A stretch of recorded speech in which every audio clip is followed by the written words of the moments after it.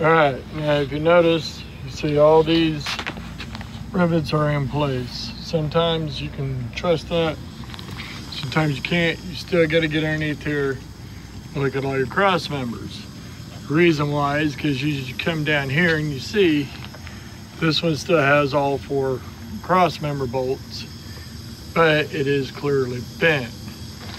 Here's catch 22. Whenever you see a bent cross member like this, should get back in there and look and see if this one's cracked. This trailer is technically out of service, so always make sure you double check anytime you see bent cross members.